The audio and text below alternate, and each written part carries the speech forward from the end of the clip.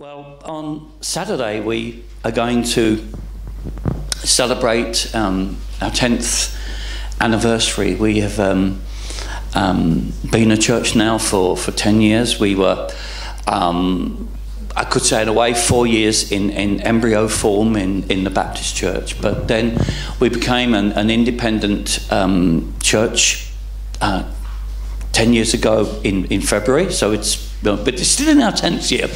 And, um, and so we're going to have, um, you know, a special um, a Christmas dinner and fellowship, and, and, and particularly with particular emphasis on the 10 years as a church. And there have been many changes um, in that 10 years. Of course, we because we're an international church with workers and, and we've had so many Filipino au pairs and people coming and going um, that we have really been, uh, I think, the, the real send, sending church because not that we wanted to be to send them and not that they particularly wanted to be sent but you know people come and people people go. And, and so there have been a lot of changes of um, of, of, of um, brothers and sisters coming and brothers and sisters going. And that's probably the saddest uh, thing about our church. That probably is, a, is the one the one thing that, I, that saddens me. I,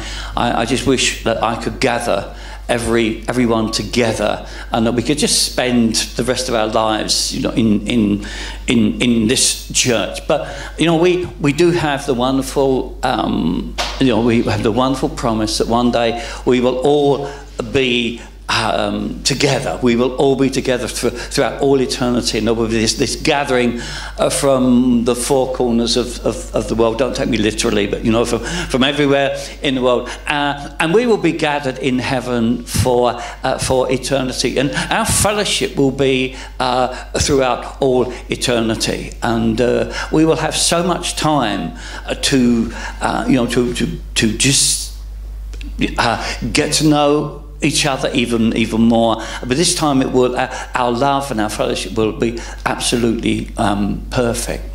Um, our worship, um, music has, has changed. Um, our certainly our doctrinal um, emphasis has changed dramatically, and so there have been some big changes in the church over the, the, last ten years. And I think in the next ten years there will be changes as well. And, and uh, you know, you will. I probably won't be here, but you will look back on on the next ten years, and and you will be able to look at the the things that were constant and the things that have, have changed.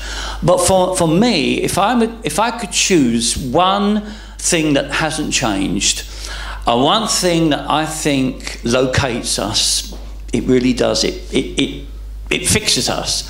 Um, I would say it is our, our unity, our love for one another, and our fellowship. Um, I, I've been pastoring um, since I was in my late 20s, I think I was 29, 30 when I started um, pastoring my first church. And I pastored a number of churches uh, in Norway and, and in, in England, where I come from. Um, but there is no church that I could compare to, to, to, to this church. Uh, I've pastored bigger churches, um, but I've never pastored a church where I can look back on 10 years and say, You have never given me a single problem. Uh, I think it is unique. Um, I think you are the, the greatest church in, in this world because I've never, I've never been in a church that could come even close to your love and your forgiveness and your understanding, uh, your big hearts, the way that you overlook uh, the frailties and the weaknesses um, that, um, that are there and obvious, and, and, as much as I try to hide them, that, that they're there, and, and, and how you just are my joy. And, uh, and you know, uh, the joy, uh, I, I, looked and I thought, oh, we have a new, new goal tonight. And, and it was Ina. And I thought, well, of course it's Ina, but, but sideways on, I couldn't quite see. You know, the, the, the hair was hiding. Uh, the, the, uh, and, and, you know, the, the, the, joy of seeing you all. And I went out in the passage to, to, get, to, to get a drink um, from, from the kitchen. And, and there, just back from the beautiful Swiss Alps, And there's, there's Ellen and, and, and Ren, and, and, and the joy uh, that that that just gives me. Um, and, uh, and, and, and also, not just joy, but to have a new understanding. And the next time I'm relating about my conversion experience and how I didn't know whether God existed or not, and I mention the Swiss Alps, I'll be able to say, yeah, we know. They don't, but we know because they've, they've seen these magnificent Swiss Alps. But it is that, it, is our joy. And so I wanted to, to, to speak because I won't be here next Sunday. Um, I'll be on a plane somewhere. Um, but I wanted to speak on something that I, I really felt um, is is TIRC, something that really locates us. And so I want to speak on fellowship. So we have two readings Matthew 16, verses 13 to 20. Matthew 16, verses 13 to 20. Matthew 16, 13. When Jesus came into the region of Caesarea Philippi, he asked his disciples, saying, Who do men say that I am? The Son of Man am. Who do men say that I, the Son of Man, am? So they said, Some say John the Baptist, some Elijah, and others Jeremiah or one of the prophets. He said to them, But who do you say that I am? And what a question that is. That's to every heart here. Who do you say that I am? And Simon Peter answered and said, You are the Christ, the Son of the living God. And Jesus answered and said to him, Blessed are you, Simon Barjona, for flesh and blood has not revealed this to you, but my Father who is in heaven. And I also say to you that you are Peter, and on this rock I will build my church, and the gates of Hades shall not prevail against it. On this confession, on this understanding that, that I am the Christ, I will build my church. I will build my church on that understanding that I am the Messiah, I am the Christ. And I will give you the keys of the kingdom of heaven. Whatever you bind on earth will be bound in heaven, and whatever you loose on earth will be loosed in heaven. Then he commanded his disciples that they should tell no one that he was Jesus the Christ. And we know that uh, the, the apostles did this great, um, this, this great work of, uh, of the New Testament. But I want also to look into the New Testament now, and, and uh, this promise of I will build my church is beginning uh, to, to be fulfilled. Acts 2 36 to 47. Acts 2 36 to 47. Therefore, let all the house of Israel know assuredly that God has made this Jesus, whom you crucified, both Lord and Christ. Now, when they heard this, they were cut to the heart and said to Peter and the rest of the apostles, Men and brethren, what shall we do? And Peter said to them, Repent and let every one of you be baptized in the name of Jesus Christ for the remission of sins, and you shall receive the gift of the Holy Spirit. For the promise is to you and to your children, and to all who are afar off, as many as the Lord our God will call, including us. And with many other words, he testified and exhorted them, saying, Be saved from this perverse generation. Then those who gladly received his word were baptized. And that day, about 3,000 souls were added to them. And they continued steadfastly in the apostles' doctrine and fellowship, in the breaking of bread and in prayers. Then fear came upon every soul, and many wonders and signs were done through the apostles. Now all who believed were together and had all things in common, and sold their possessions and goods and divided them among all, as anyone had need.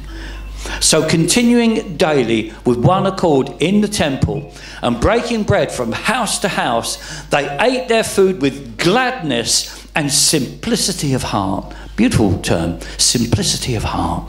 Praising God and having favour with all the people. And the Lord added to the church daily those who are being saved. And this has continued till today. The God is adding to the church daily those who are being saved. And our prayer is that, um, that more and more will be saved in this church and throughout the world. Father, we thank you for this wonderful word from, from your heart that Luke, driven by the Holy Spirit, calls these wonderful words about the church, about the fellowship, about the love, about the power, about the evangelism and the spreading of the gospel and the adding to the numbers. And we thank you, Lord, that Matthew was driven by the Holy Spirit to reveal your perfect and absolute word to our hearts who lived 2,000 years later. We thank you, Lord. Oh, Lord, we thank you for your word. And we thank you, Lord, that your word is also a word of healing. And Lord, we, we pray for the young girl Victoria in Alta.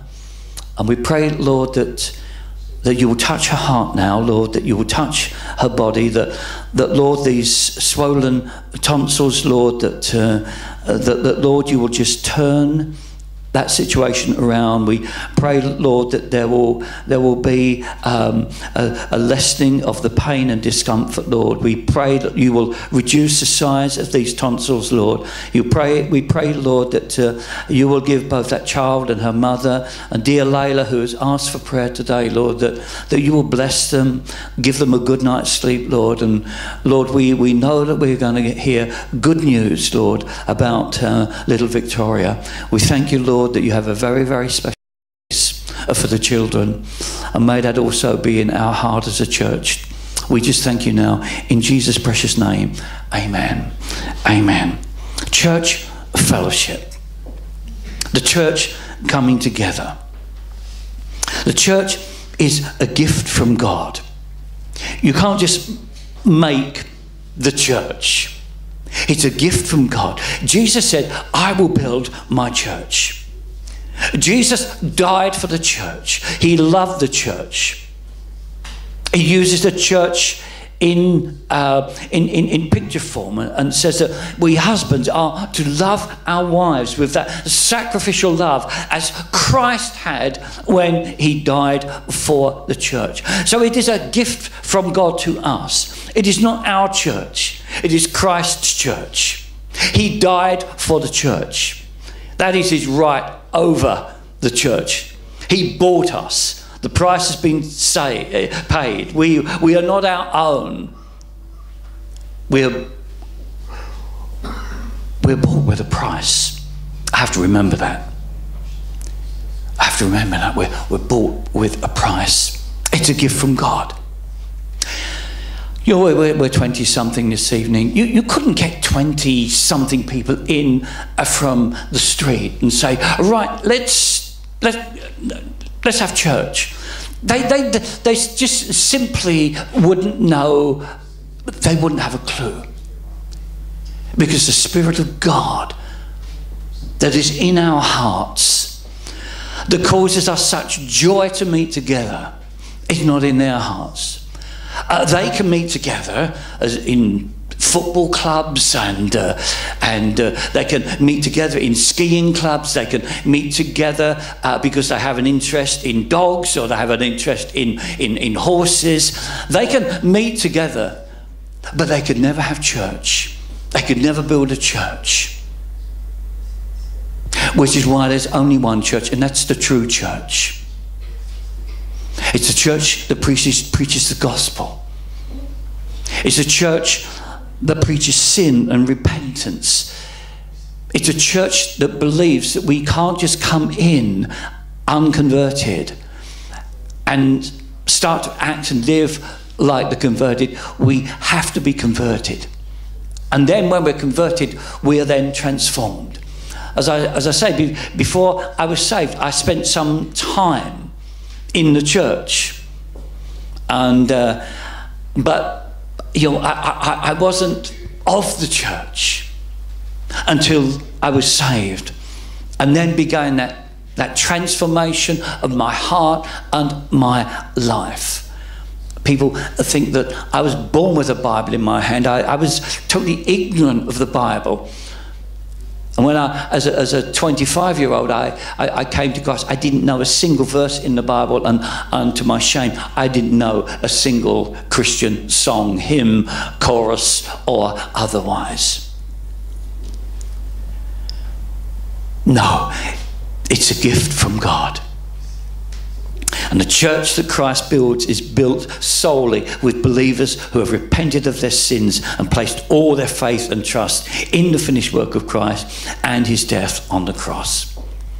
We can only enter into this church through the blood of Christ. We are a blood bought church. We're bought with a price. We're not our own anymore.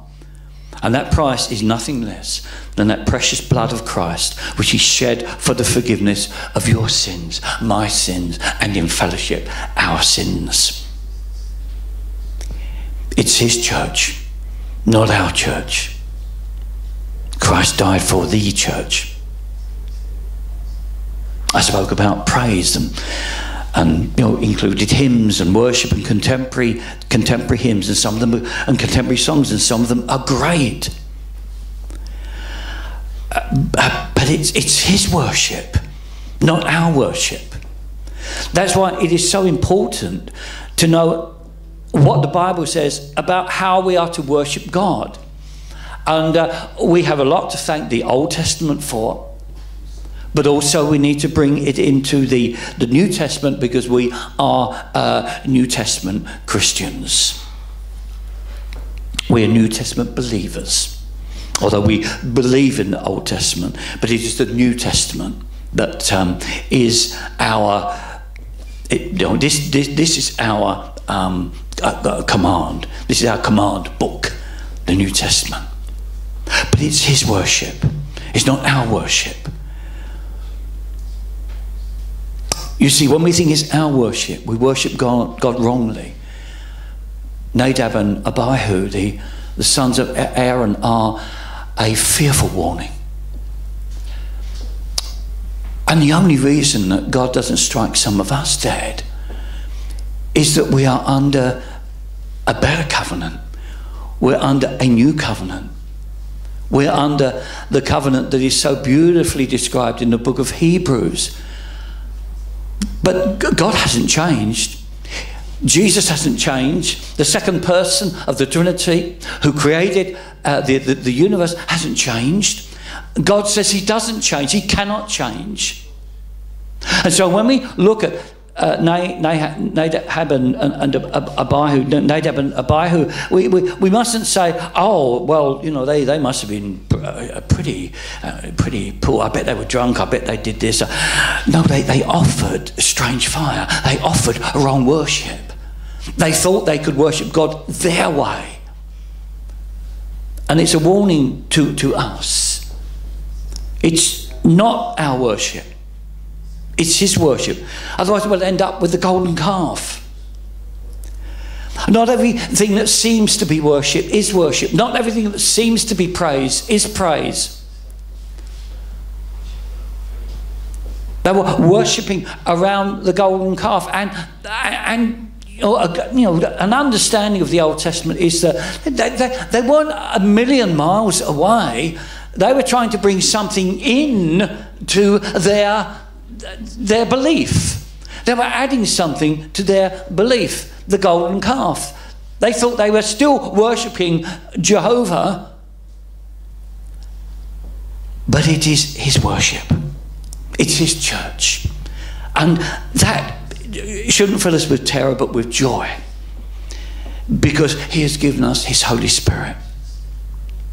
And if we're living clean lives, if we understand the Bible, if we really are um, men and women of the Bible, not theologians, but, but men and women who understand the Bible, understand the basics of what TIRC teaches and, and, and believes, and then we apply that to our hearts, and we can worship God in spirit and in truth, without fear, without terror.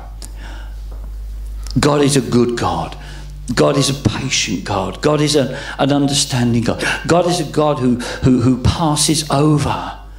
As he passed over the Israelites on that night of terror and dread when the firstborn of the Egyptians were, were, were killed, he passes over. We are never going to be perfect in this church. There will never be a perfect pastor, a perfect preaching, perfect worship, but we can please God. Because God always looks on the heart.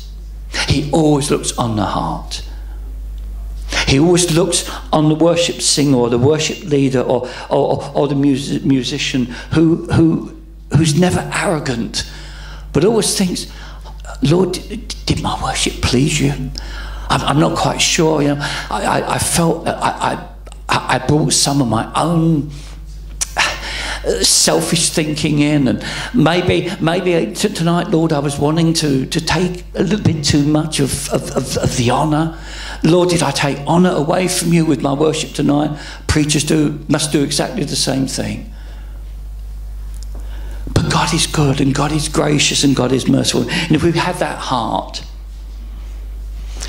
my wife's away and and therefore um, I read two books this week, two books. Um, a biography of Bethan Lloyd Jones, um, the, the, great Dr. Lloyd Jones' uh, wife, and uh, and uh, a wonderful biography of uh, Robert Murray M'Cheyne, written by um, Andrew Bonar, his, his, his friend. And, and um, I, I, I, wish we could meet M'Cheyne now and didn't have to wait until, until heaven. But M'Cheyne, one of the greatest, greatest, greatest pastors who's ever lived, and a man of immense humility.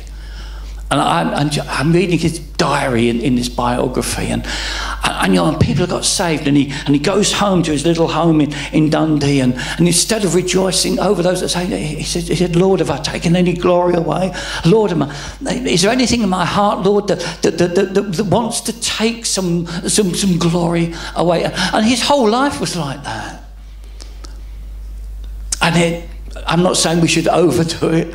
I'm not saying, that we should, you know, be eternally looking at ourselves all the time. But if we have that heart, then our worship will be good. Our teaching will be good. Our preaching will be good because it will be pleasing to God. And we want to please God because He has given the church as a gift. True Christians are spiritual people, and we feel, in a way, comparatively isolated in this world. I hope you have that sense of isolation a little bit, a little bit, and, and not a sense of identity. When we're with people who know nothing of the Lord Jesus Christ, there will be after a while a, a sense of alienation, a sense of I don't belong. You know, I, lo- I love football, you know, but, but if I'm with non believing, non Christian, know, football enthusiasts, after a while I, I'll think, oh, isn't there anything else? I, I, I, just, I just can't identify. And so there should be some kind of comparative loneliness and isolation. And when we come together, it's the highlight of our week. Dear sister Mona Lisa, I'll never forget, she came to a Friday Bible study and, and, and she said, There are the two highlights of my week. They're the Friday Bible study and Sunday service. Uh, she understands fellowship. She understands that in spite of the good relationship she has with her work colleagues and the good relationship we have with the person that, that serves us in in uh, in in uh, the, you know the, um, the, the, the fast food restaurant or, or, or, something and, and and we have good relationships with with with the, the people that we meet. We don't want to alienate alienate ourselves. But when we come together, you know, it, it, this is the highlight. This is what I've been looking for. This is what I've, I, I've been missing. Fellowship, friendship, love, understanding, patience, and kindness with my brothers and sisters in Christ. God has given us this wonderful compensation. Otherwise, we would be in, incredibly lonely.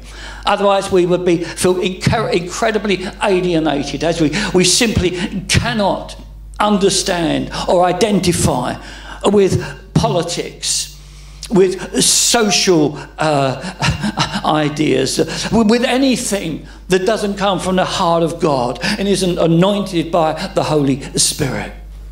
But God has given this wonderful compensation, this fellowship we enjoy with each other.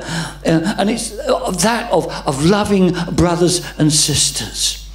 The church should always be a blessing. No matter how many warnings the pastor might come with, no matter how many challenges preachers might, might come with, if they are not preaching the glory of the church, if they are not preaching the wonderful magnificence of Christian love and, and fellowship, then, uh, then you know, we, we are uh, in need of repentance. Because we're preaching hard we're preaching judgmentalism, and it's never meant to be that. Woe the pastor who challenges and, and criticizes and, uh, uh, and, and, and comes with negativity if it isn't to bring joy and love and growth to the people. Our fellowship is very special because we have essential things in common. We have the, the agape love of God that's been shed abroad in our hearts. The experience of saving grace altogether. The, the feeling of our enmity with the world, that we don't belong to the world. The expectation of the coming glory. That as wonderful as this is, it gets better. It gets better. And we think, yeah, but wow, it's good now, but it will get better. The common hunger and thirst for God. I want more. And, and how attractive and, and, and, and but also challenging when we meet brothers and sisters, especially the ones who are new converts. Uh, uh, and and, we, we just think, oh, this is so wonderful. Their testimony, their first prayer. I think the first, prayer of a convert, they're kind of thinking, oh dear, I can never pray like Pastor. And Pastor's sitting there thinking, I can never pray like him. I could never pray like her. I'm not a new convert anymore. I'm not a new believer in Christ. I don't have that, that, newness and, and that, that, that everything was exciting. Everything was new. Everything was, and, and, and, and, and it's wonderful because new converts should, should challenge us more than anyone in the world. I, I don't want to give secrets away and betray the confidence of, of Shua and Remus, but I will. Uh, you know, we, we, we, have gone to elders' meetings and we've mentioned new converts. Uh, some of you are here tonight, and I'm not going to mention your name. And we've, and, and we've said, oh, are we like that? Do we have that joy? Do we have that freshness? Do, do, do we have that? I think elders should do that. I think we should never become proud and think that, uh, well, we're up there and, and, and, we have a wonderful, wonderful congregation down there. No, sometimes we feel that you are up there and we wonder where we are. It's, it's a wonder, it's, it's, it's a miracle. A hunger and a thirst for God, and a grateful love for Christ, an experience of the beauty of holiness, a love for Holy Scripture I'm not saying we feel like this all the time, we don't. If you'd have spoken to me an hour ago, um, I wouldn't have been thinking this or, or saying it. I'm worried about my sermon and worried about this, and, and I just don't seem to have it all together. And, and, and no, we're not like it all the time. We have really, really bad days sometimes.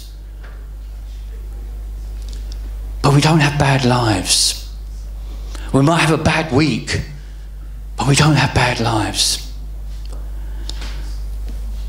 That's another common thing that we have together.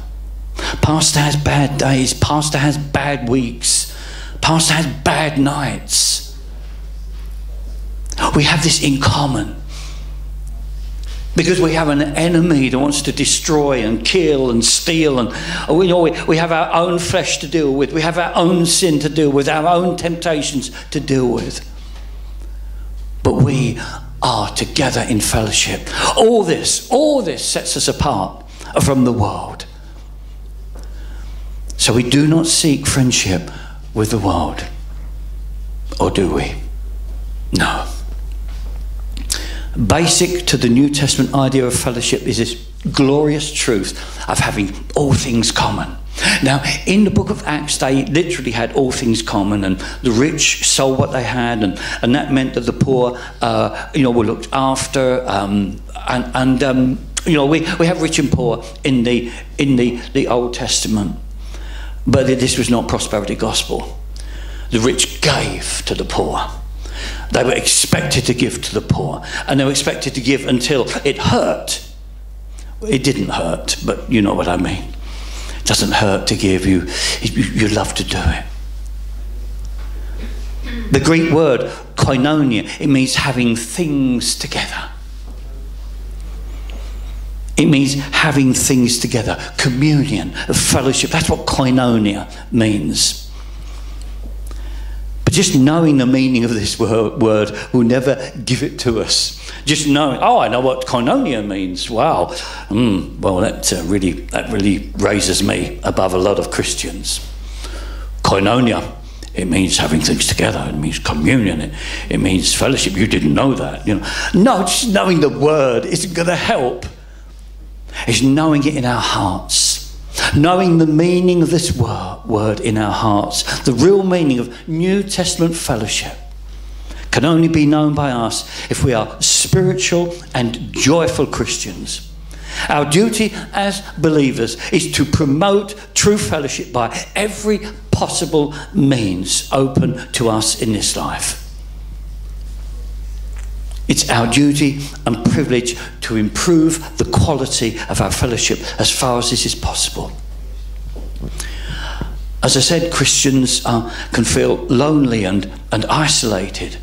We're often scattered far from each other and often kept very busy at our secular jobs, especially today. Much of society now is no longer 8 to 4 or 9 to 5. I had a very, very, um, you know, you know a, a, fairly, well, a tiny, important job. No, I worked as a buyer, and I worked for some of uh, the biggest companies in, in the UK. And I had a lot of people working for me, and you know, uh, you know, I, I, had a spend of, of around nine, ten million pounds a year, and this is back in the 19, uh, early 1970s. It was a lot of money, but it was nine to five. And only once in all my years as a buyer did I receive a phone call in the evening about nine o'clock at night. And um, I was working for Spillers Foods, it's a major food group, um, bakery division. And we had a major problem in Newcastle. Couldn't, doesn't get much further, London to Newcastle. I was on the first train the, the next day um, and on my way to, to Newcastle. But, but today it, it, it's changed. And so, this feeling of pressure and stress and isolation, um, uh, you know, of not having your own private life and space is, is far more compromised today than it was in my day. Things were so much simpler. No mobile phones. Out of the house, no one could get in touch with you. No, no, no, I enjoy you getting in touch with me. Don't, don't get me wrong. But um, there is a stress today, and it can lead to isolation, and it can it can lead to a, feeling that um, that's not good. It, it harms fellowship. We're often scattered. Often we're in an environment very hostile to our Lord and Saviour. Well, that's always been, you know. Uh, you know, some of the um, companies I worked for uh, were so image um, conscious um, that um, it was um, a very, very difficult, very hostile environment. Consequently, we're often spiritually hungry by the time we meet each other. We've we've been looking forward to this. We've been in hostile environments. And it's when we meet one another we receive love and comfort and encouragement. And in addition, we build each other up in our most holy faith. There is so much false teaching and worship in Christian churches today that we need our own dear fellowship to comfort and encourage us. Now, I'm not saying that our theology and our doctrine uh, is, is absolutely word perfect according to, uh, to, to God's word. But I don't think there's a lot of false teaching in this church. I don't think there's any blasphemous teaching in this church. God is sovereign. Christ is our Lord and our Saviour. And we are sinful wretches who have been wonderfully saved by the grace of our Lord Jesus Christ. So we always come with this attitude of, oh, I'm saved, I'm a child of God, and I'm a sinful wretch. And we try and balance that all the time. And fellowship helps us to do that so that when our heads are down, there'll be brothers and sisters to lift it up. But if I begin, and if we begin to be a little bit too head up, then uh, you know we, we, we, will have a good message or, or a good study or a good introduction on a Sunday that will, will remind us where our head should be. Not down in shame, but not up in pride and arrogance, but straight ahead looking for the coming of our Lord Jesus Christ.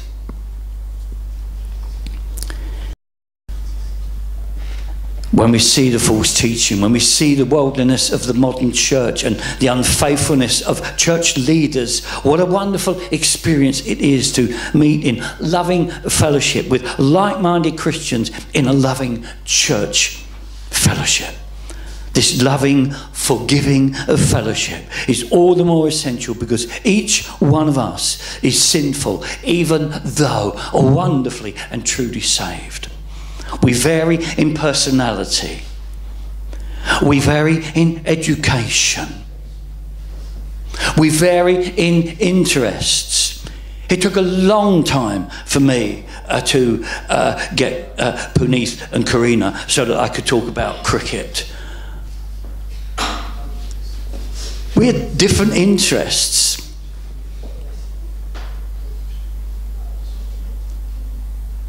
We vary in sanctification. We are justified, every single one of us. And the moment that we are saved, we are justified. Not partly, not 99%, but 100%. He who knew no sin was made sin for us, so that in him we are the righteousness of God. And you are 100% justified, but we are not 100% sanctified. And so some of us will maybe be more sanctified than others, at least we think we are. Um, but, um, but sanctification is a process. Uh, and you, know, you, you may have come to Christ about the same time as a brother or sister in the church, and you have leapt ahead in two years and they haven't. They're, yeah, they're sanctified, they're growing, but not at the same level as you are. Uh, be, be, careful. Because it only needs one touch uh, from God, and uh, you will find their sanctification improving a thousand percent, and you will find yourself trying to catch up. It just needs one touch from God. And a believer who's struggling with sin and struggling with sanctification and isn't really growing, that, that Christian only has to have one glimpse of God, one glimpse of heaven, one glimpse of who the Saviour really is, one glimpse of the sovereignty of God, and they will leap forward in sanctification. But we're not all um, at the same level of sanctification. We vary in our gifts. We vary in our many different cultures as I will find out next week when I take a wedding in the Philippines. And uh, uh, that is um, outside my comfort zone.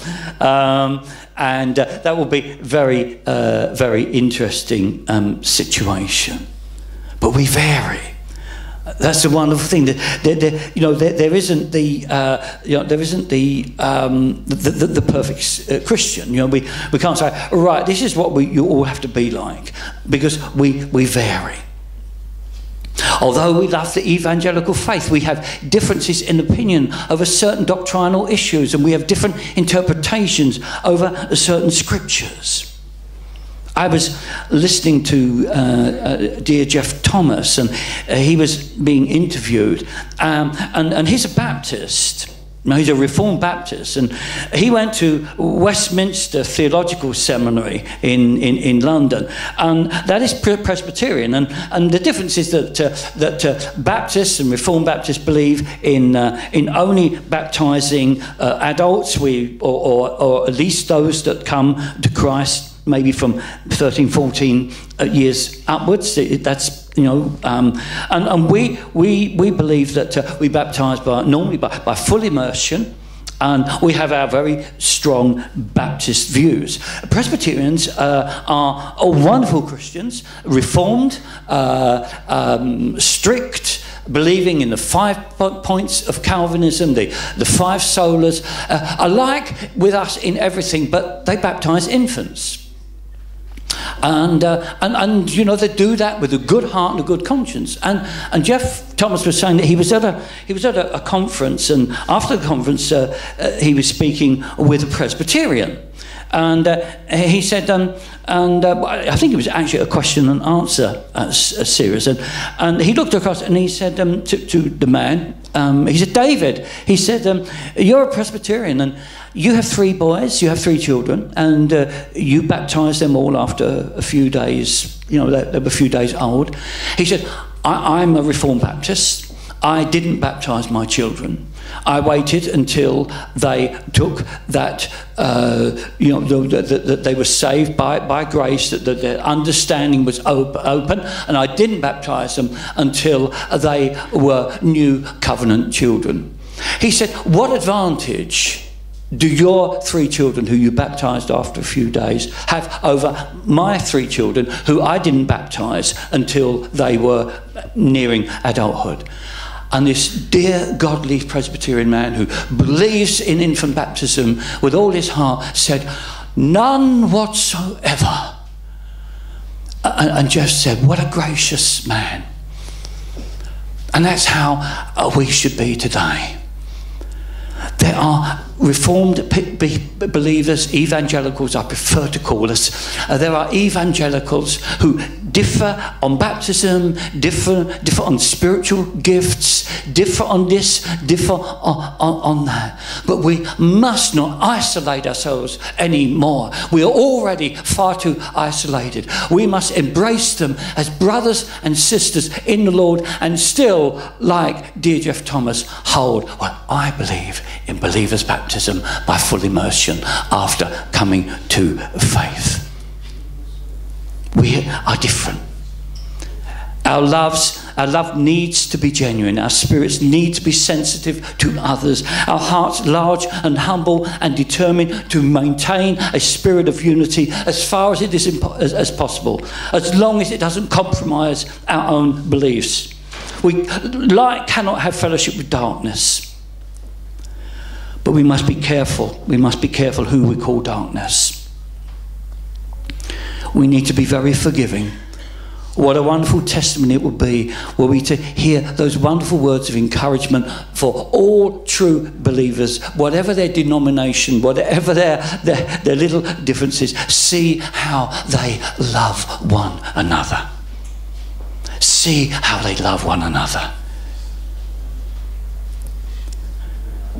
The Christian is always growing and will never reach perfection until we enter into the glory graciously prepared for us. before we come together. It will enhance our fellowship if we prepare our hearts every week, every Friday, every Sunday. So we prepare our hearts not to boast, not so that uh, I can, uh, you know, prepare so I come with the cleverest uh, sermon I, I could, um, I could um, uh, come up with, and that wouldn't be very clever. Um, uh, you know, but but the, we we prepare our hearts to bless our brothers and sisters, that we have something to share other than the latest news and the latest football results. And if we were in England, thankfully we're not, you know, the latest Brexit um, negotiations. Oh, praise the Lord for the call of God to Norway. Uh, but, uh, you know, so that we, we're prepared. We come with something that has blessed us, which we believe will be a blessing to others. This can be the fruit of our own study, or something we have heard or, or read in the Bible, or, or a Christian book, or, or just something we've experienced this week. And we come on, we bless one another. Our testimony of God's dealings with us are a great blessing to others in the church.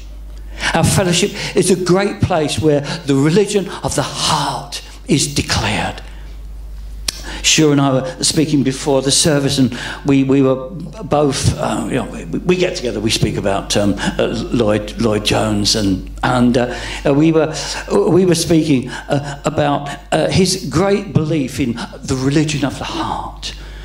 You see, Lloyd Jones always believed that if we just have doctrine, if we just have theology, if we just have knowledge, and there's no heart application, there's no transformation, there's no beauty, there's, there's no joy, there's, there's nothing to, to bless and share with others. He said it is useless. And in fact, he said it's more than useless, it is sinful.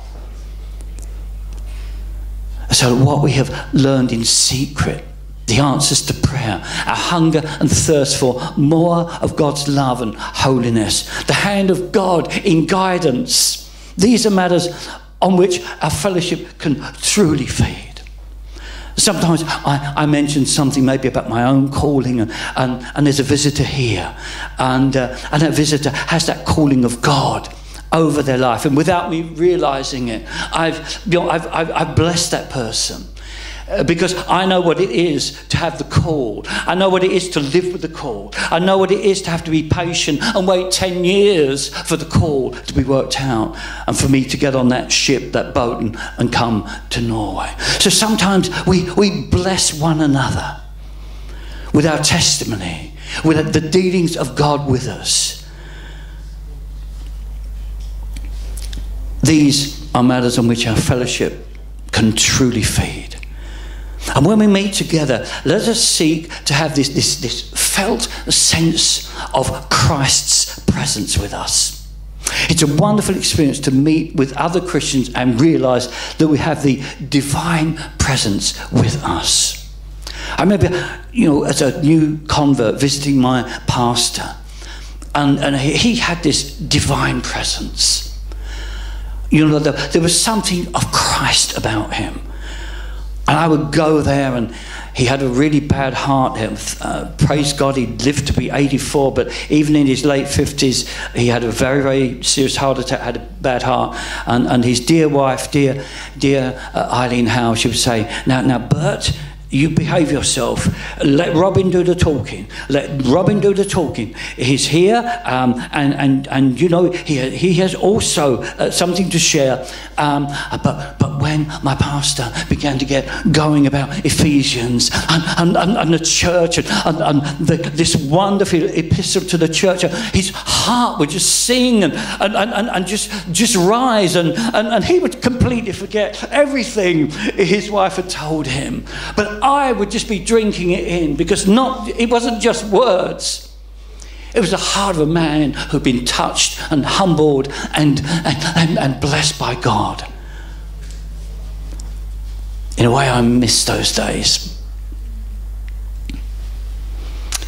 It sometimes happens that the Lord gives us an anointing and a great sense of His presence to His people in our gatherings when we're gathered together when we're coming for fellowship. Sometimes our hearts burn within us.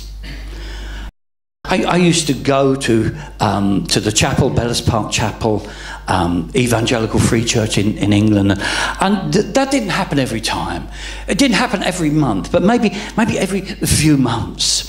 Something that was spoken, something that was was said, would would get my heart to burn within me. And in our wider fellowship, we are to be inclusive of all. And this is one of the most difficult ones. We'll naturally feel closer to some brothers and sisters simply because of similar interests, doctrinal closeness, but we are not to be narrow and mean and leave some people out of our inner circle. Otherwise, it cannot be said, see how they love one another. It would be, see how they love some.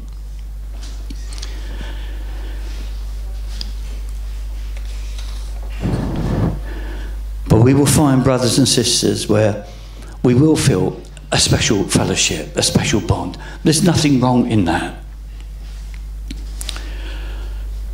There are sometimes we will just feel that we have that, that closeness to a brother or a sister in Christ. But we are to have a wide fellowship, a big hearts. I speak to myself as much as I speak to anyone.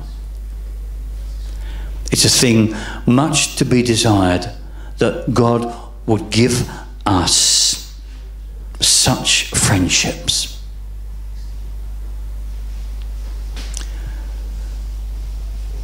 It's such a thing to be desired that God would, would place us in a fellowship with such friendship amongst brothers and sisters who fear his name and love his presence who are in awe because He is the sovereign God, but who come boldly because He is the Christ who died on the cross to forgive us our sins. And God wants us as close as He can to His heart, not in fear, at a distance. And the purpose of God for our lives and our fellowship is that we should be mature over the years so that when we are ready to meet with the Lord Jesus Christ, we're not full of regret and looking back.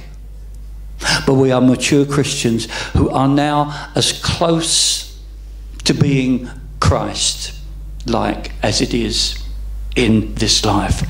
Because in heaven and throughout eternity, as I've said it before, because it's so wonderful, God has created us to be throughout eternity as close as it is possible to be as a human being, as close to God, to being like God, as it is possible to be without ever being God. That's His purpose. That's what we will be doing throughout eternity. We will be as like God as it is possible for any human created being to be without being God.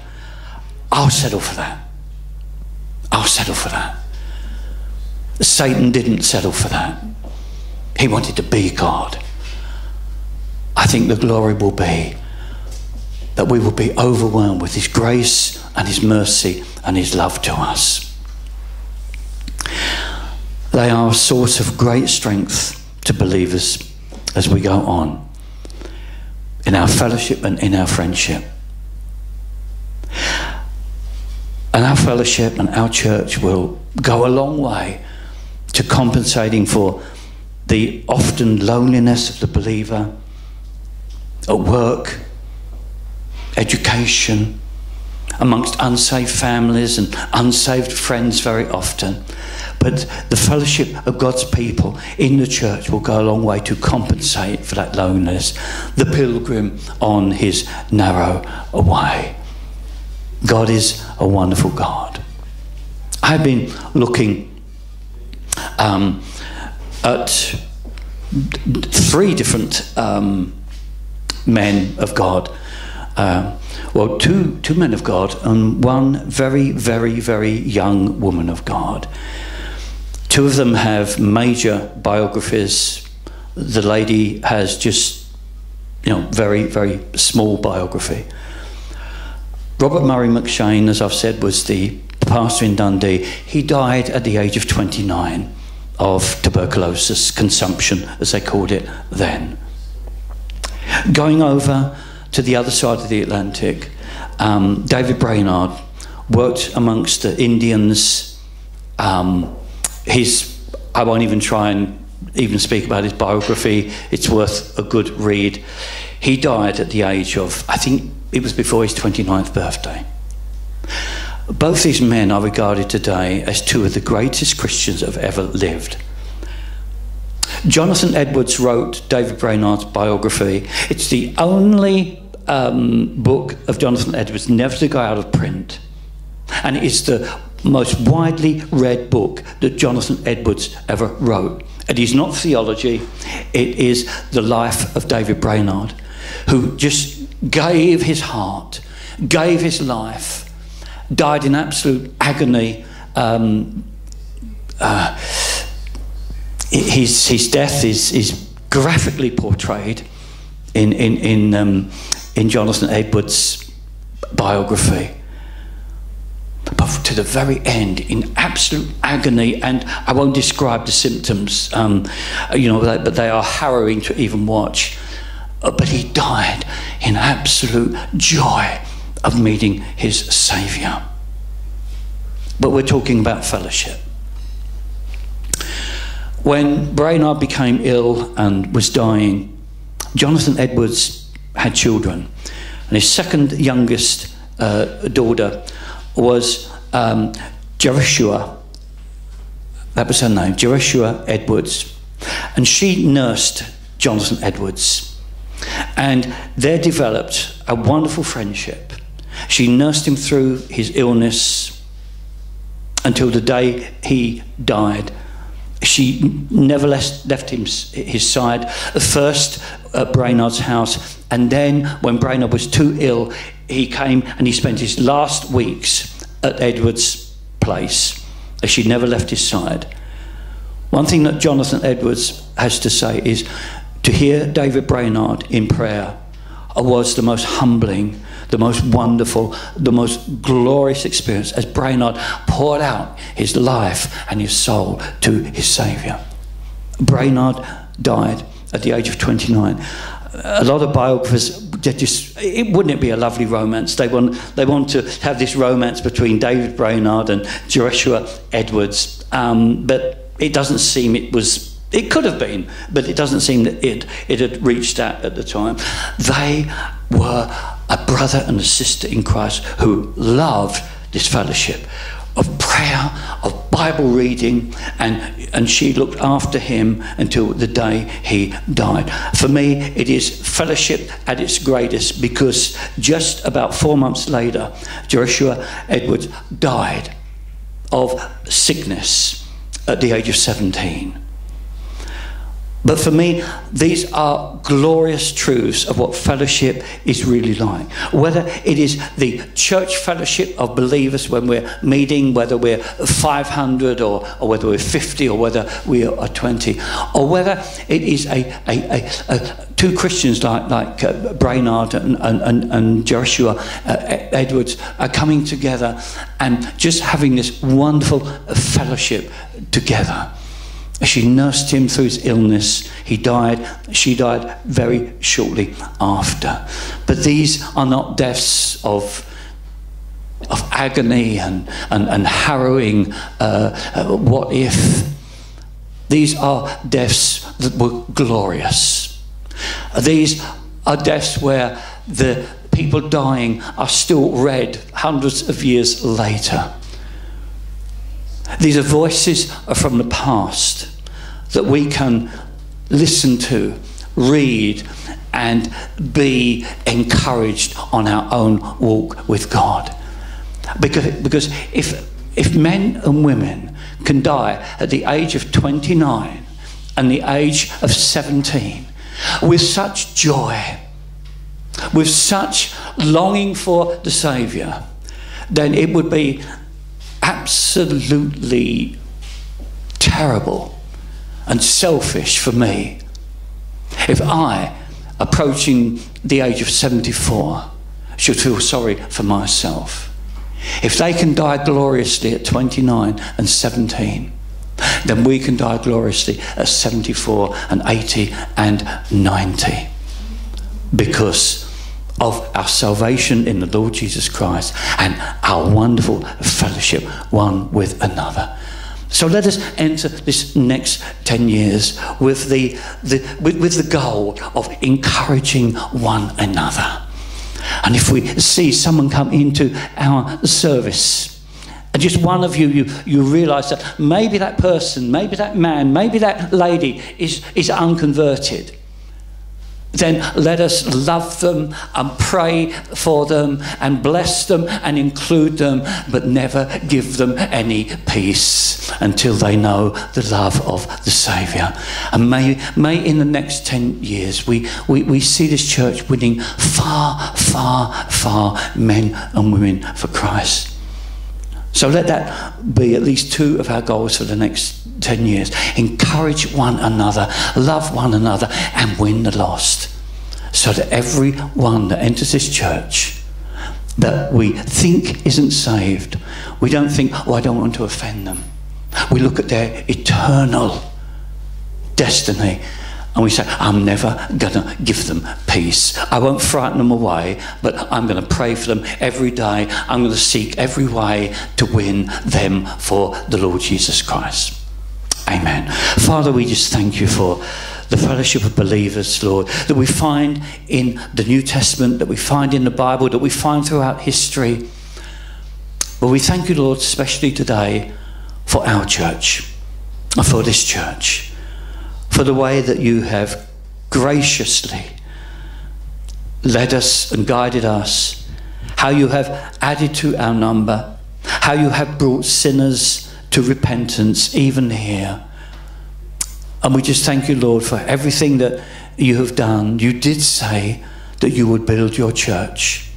And we still believe that for today, Lord. And we, we pray and we believe that in the next 10 years, Lord, we will truly see the wonderful truth being fulfilled that you will build your church. Oh Lord, build your church by bringing unconverted men and women in, sending us out, and may we win the lost, Lord, and be part of the Great Commission. We ask in Jesus' precious name.